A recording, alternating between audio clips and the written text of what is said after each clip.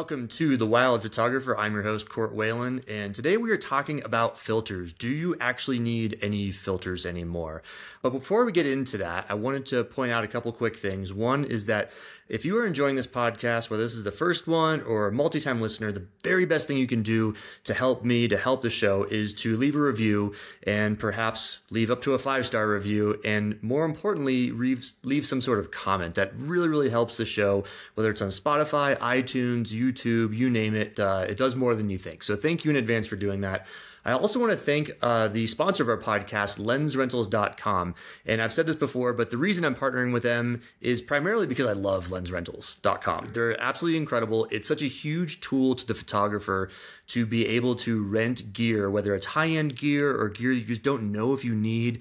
Not only can you rent it for a week or a day or two weeks, but they also give you the option to buy it afterwards, which is a really cool test before you buy scenario. So I really like them. Just big shout out to lensrentals.com. Thank you for sponsoring the podcast. And if you use Wild Photographer 15, they will give you 15% off. Uh, so it's a pretty cool way. And we also get to track that as part of the show to, to show what sort of awesome reach we have to our dedicated photographers out there. So thank you so much in advance for all of that. So on to the show. Filters. Do you actually need them anymore? Let's start by talking about about the history of filters. They are a topic, they are a thing in photography. Um, a lot of times nowadays, especially with the younger folks, they're probably thinking about filters being like Photoshop filters, but they have roots in the single lens reflex world, in the film camera world, where you would actually screw a filter on. There's still a lot of options to do that today, and we're going to go over each and every one of those and kind of give the pros and cons, my personal opinion as to why they might be useful or why I why I hate them. I don't mean to be so one or the other, but I do have opinions about pretty much every single filter out there. But back in the day, they were your warming filters, they were your cooling filters, they were your your golden light filters. The thing is, is like so much of what that once was is indeed done by Photoshop. So carrying around a huge backpack full of filters, yes, that had a huge purpose back in the day, but it really isn't that important anymore. But there are a handful of filters you absolutely want to consider. And there is one filter that you probably have on your camera right now, or if you don't have it, you you should really think about investing. I, every single lens that I own has this filter. So let's start off with that most important filter. It's the UV filter. This is the most benign kind of milk toast filter. It, it doesn't do much. It's not, you know, the UV filtering aspect isn't this game changing thing when you take photos of certain light. It's not going to alter the light really at all primarily what a UV filter is is it's a protector for your lens. I can't tell you how many times my UV filter will have a little scratch on it just from years of wear and tear. Yet my main lens itself, the, the actual element, the glass there, is completely crystal clean after years of use. So UV filter is actually pretty inexpensive. It's it's relatively benign. They can be something like 20, 30, 40 dollars. Yes, there are companies that will sell you $100, $200, $400, $500 UV filters. And I'm sure they are a little bit better, but you can get a really, really good UV filter for like 40 or $50. And oftentimes what I look for is first that price range. There are a few brands that I really look for like Hoya, B&W, Singh-Ray is kind of like the top of the line, but something in the 40 to $50 range. And then the additional thing that I look for, it's it has some sort of acronym like MRC, like multi reflection coating or something of that nature. This is not critical. Again, the primary function of a UV filter is to do nothing, just protect your lens. So don't go too heavy into this, but oftentimes the manufacturers that they brag about having this little extra coating on the filter itself I think it's a, it's worth the extra ten or twenty dollars compared to the uncoated version. So I think it's a really nice thing to have. I you know maybe it's just placebo effect, but I think maybe it keeps my lens a little bit cleaner, so I don't have to to wipe it off quite as much. Okay, so now the next filter, I'm kind of going slightly in order of importance here. The next one that I think a lot of people have or at least consider is going to be your polarizing filter. So this is again one of the filters that made its way through the Photoshop era and is actually still quite useful primarily because the physical activity of a polarizer is one of the few things you cannot do in Photoshop itself. So the way a polarizer works is it's actually kind of like see through Venetian blinds for your lens. So light only enters your lens, your sensor, through a certain plane. Don't worry about the scientific technicalities of it. The basic gist is that you can, you will be able to reduce reflections on water, reduce reflections on windows, et cetera, et cetera. Now, that's not really the primary purpose in my mind as a nature, wildlife, landscape photographer. What I like about polarizers is that they help clouds pop. They, they create that silver lining, they create that awesome puffy look of the big cumulus clouds, and they make blues and really dark colors like that richer. It actually brings more blue out of the clouds. So I think more than anything, it's just a way to make your photos pop. Now, I've talked to fellow photographers and they say that they use it for everything, even landscape photos, because it reduces a little bit of the luminance on like green colors of leaves and trees and big landscapes like that. So, you know, it's one of those things I think most pro photographers do have a polarizing filter in their bag. Whether they use it or not, it's kind of up to you. I will caution you, this is going for all filters across the board. One of the big risks of using a filter is you get this infringement, this vignetting at the corners. And you'll notice this, especially with less expensive filters. They are thicker glass, and adding anything between your lens, or I should say your sensor and the subject, is adding another layer that needs to be really high quality for the inherent quality of the photo to come out. What I mean by that is you're slapping a piece of glass between you and the photo. And so the more glass you add, like if you stack filters or if you use inexpensive filters that are very, very thick glass, they do create this vignetting at the edges. And it's in most cases so dark that it's relatively unacceptable. Like you literally have to crop your photo in. So the takeaway from that is if you are shooting with an ultra wide angle lens and you need every little millimeter to get this big view and you're shooting with an inexpensive filter of any kind, be very, very cognizant, review your photos and look at the corners because you're probably getting some dark vignetting that you're going to have to crop out after the fact. If you're shooting ultra wide and you don't need every single little inch in the frame, maybe it's okay. You can crop and that'd be just fine. But this is, I've noticed the reason I'm talking about this with the polarizing category here is I've noticed it to be especially prominent with polarizers, especially inexpensive polarizers. So of all these filters that I'm talking about, if there's one that you drop a little bit more money on, like frankly a couple hundred dollars, a really good polarizing filter is going to be significantly better for you and your photography than an inexpensive polarizing filter. In fact, my humble advice is if you're not spending $100 on a polarizer, you may not want to use it at all. You may just want to leave it off your camera, leave it off your lens, and just stick with manipulating the photo in Photoshop or Lightroom, like saturating the blues. A little known trick is that one of the effects of polarizers can be done by simply decreasing the blue luminance. So if you're in Lightroom or Photoshop, you can look for that luminance tab. It's usually under like the color mixer. Decrease the luminance of blues, and that's doing about the same thing visually, not physically, but visually. It's uh, really, really similar to what a polarizing filter would do for your lens. So polarizers, I do have one. I do like them. Um, I'm headed to Greenland soon, and I will absolutely be having my polarizer on by default because I think it's going to really, really pop the blues out of the icebergs and out of like skies and clouds, just make more of a dynamic landscape. Um, but again, it's not one of those things that I think is really critical like a UV filter might be. There is one other category of filter that I'm going to tell you about that is, is pretty critical for certain kinds of shots.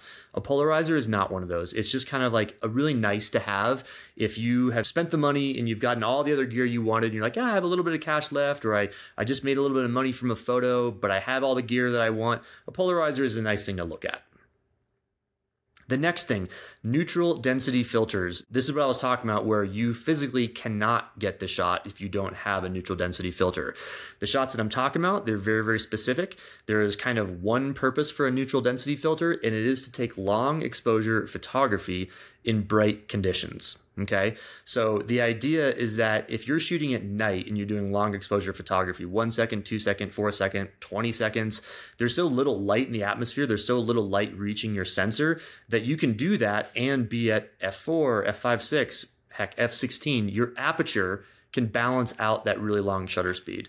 Now the problem is, is if you're in front of a waterfall or a moving river, these are kind of the, the main applications here.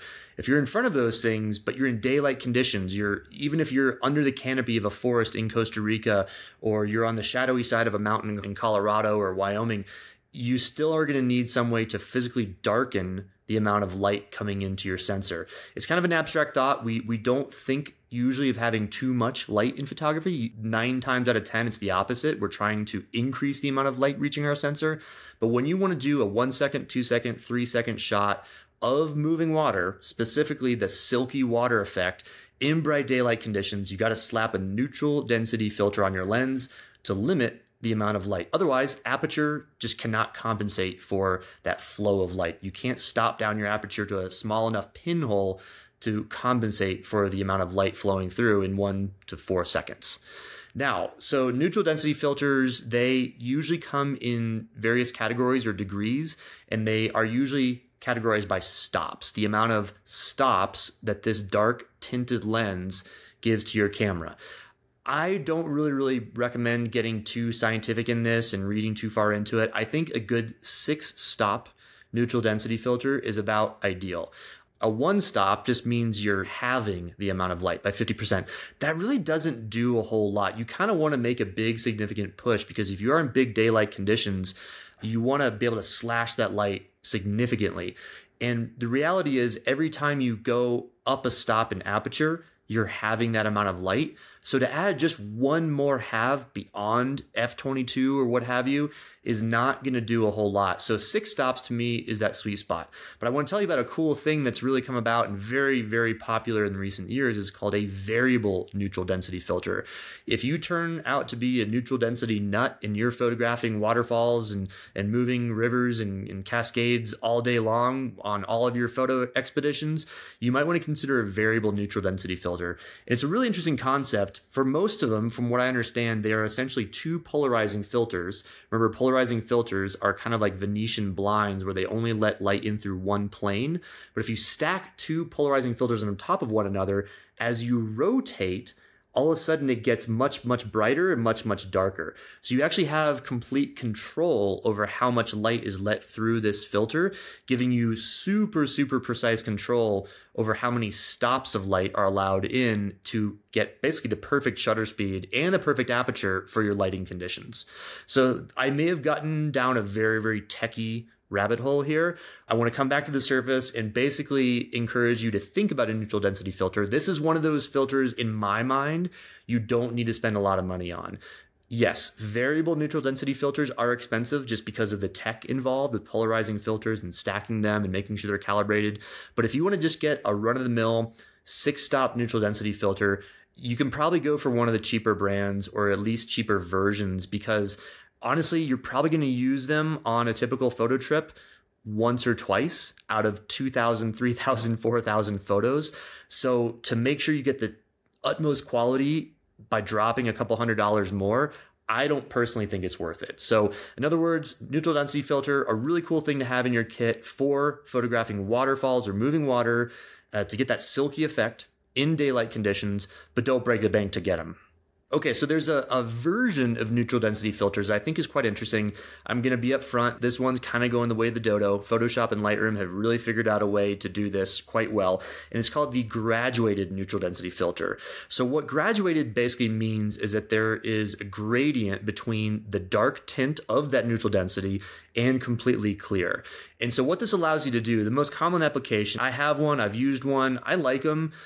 I don't use them much anymore, but basically what it allows you to do is imagine yourself in a sunset scene where you want to get great foreground light, meaning the stuff in front of the sunset, and also get really, really great color and texture on the sunset itself. So, a photo a few years back that comes to mind is photographing in Bryce Canyon National Park of a glorious sunset. Now, it's hard to have your cake and eat it too with sunset photography because if you want to get a great shot to illuminate the foreground, in this case, Bryce Canyon, these beautiful hoodoos with the pinks and yellows and reds and oranges, they're really, really great.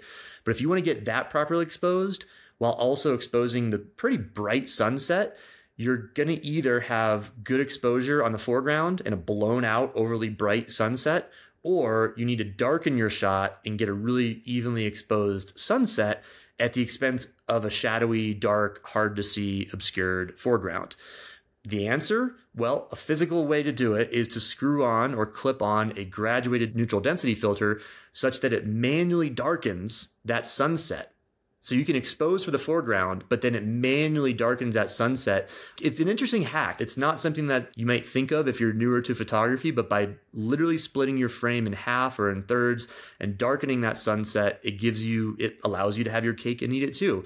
Now, since I'm on this topic, I will mention that to get a really good graduated neutral density filter, the best way to do it is to get one of these that are actually like rectangular filters such that they clamp on to the tip of your lens and you can slide it up and down. So as you can imagine, if you're in front of, let's go back to this Bryce Canyon sunset thing, if you're in front of that, do you really want to put the horizon smack dab in the middle? Because that's what most circular neutral density or circular graduated neutral density filters are is they they are gradient such that transition zone is in the middle but as we all know you kind of want to make your scene a little more compelling you want to add some interesting composition like the rule of thirds. And so to have it smack dab in the middle actually goes against those rules.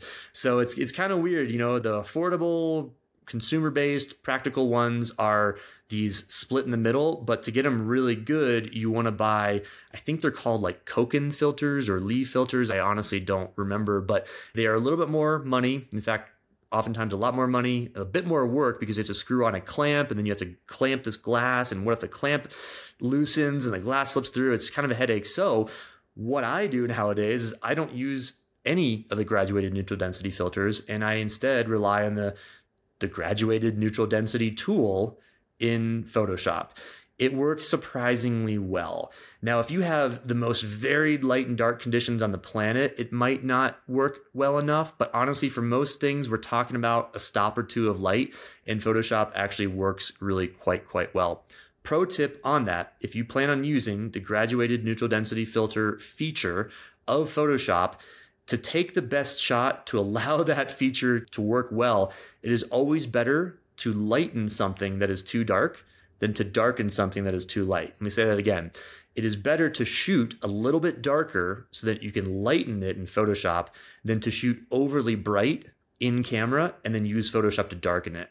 That's just the way the processing works, the way the data works in terms of the darks and the lights. You have more data in the shadows than you do in the blown out highlights. So shoot a little bit darker, leave the graduated neutral density at home or don't buy one and start to practice on Photoshop because it's a pretty inexpensive, really precise game changing way to do it. I absolutely love it. Okay, so now we're going to move on to a couple filters that are kind of newer in the world, and I'm exploring them myself. And the first one is going to be your black mist filters. And for whatever reason, I'm getting advertised these things left and right on Instagram and on websites, probably because I'm looking at companies that also make those and they're their newest, hottest product.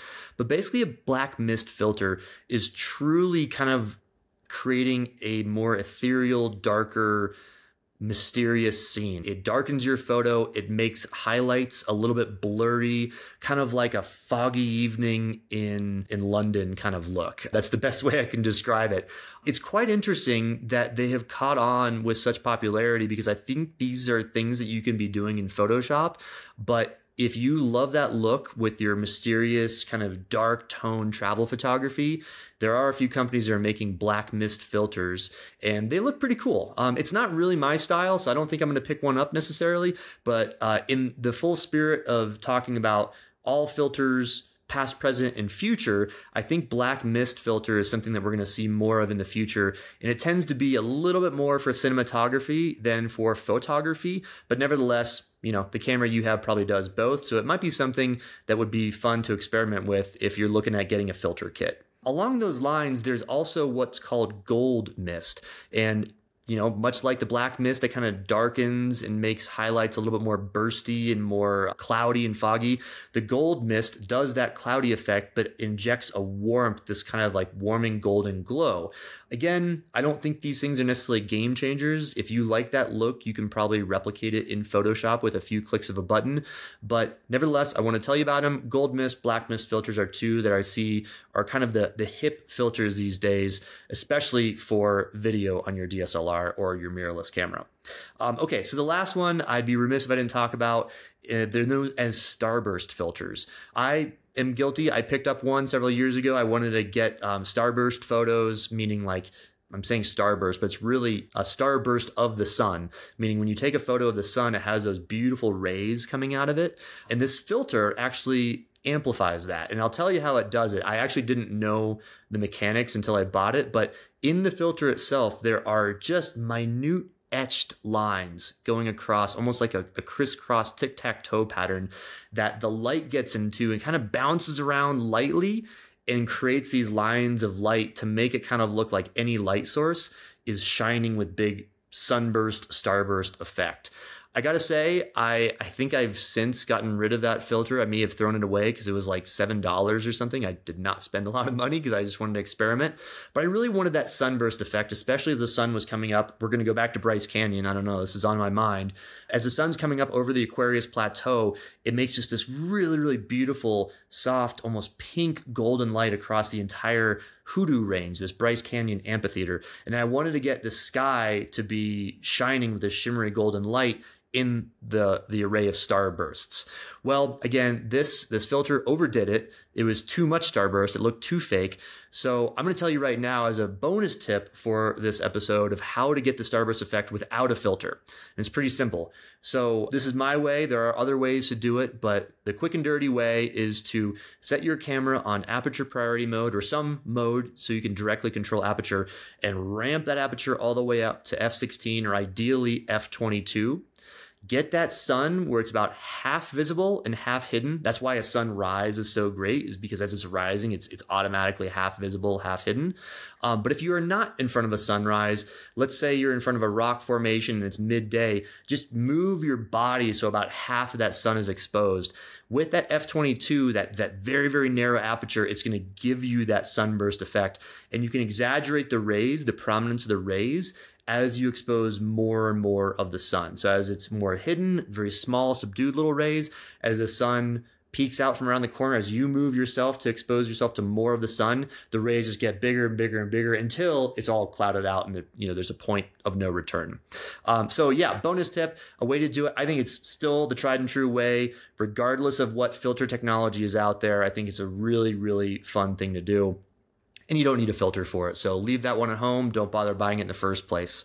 Okay, well, folks, that is it. So a little recap. We talked about, you know, the history of filters in a lot of this warming and cooling effect. We're seeing a little bit of a resurgence of that with the black mist and the gold filters, but a lot of it is taken care of with Photoshop, with white balance settings today. So the need for filters is very, very minimal. You do not need to carry a separate backpack of 12, 20 filters like photographers in, in the olden days, but there's still maybe a few you consider. Primarily UV filters for every lens you have. Highly recommend it. Protect your lens, protect your investment, be a little more conscientious of cleaning your lens so you don't worry about scratching it. But then you also have polarizing filters, which I think is a really important one to at least consider. I have been hot and cold for many years on polarizers, but it's one that I think a lot of pro photographers consider. And then we talked about neutral density and graduated neutral density. You cannot take silky photos of waterfalls and moving water in daylight conditions without a neutral density filter. So I highly recommend you look into one of those, especially if you're going on a trip or photographing somewhere where moving water is likely to be a thing. Mountains, think of streams, creeks, et cetera, et cetera. And honestly, it's kind of just fun to practice in your backyard. If you have a river nearby or a creek or a stream or anything like that, you can create some beautiful works of art with that silky water effect. And then graduated neutral density, I like Photoshop. I think it does a better job, so I no longer carry one with me. So, folks, there you have it. Wild Photographer episode on filters. Are they even practical anymore? So, folks, thanks so much for listening today. As you can tell, this is really a passion project of mine. I've been photographing around the world for over 20 years now, and this is my way of giving back a little bit and delivering tips, tricks, and techniques, giving you the tools to take better and better wildlife, nature, landscape, and travel photography. Again, the best way you can support the podcast is leave a review, leave a star rating up to a five star review. And, you know, thank you so much for joining today. And I look forward to seeing you next time. Thanks. Bye.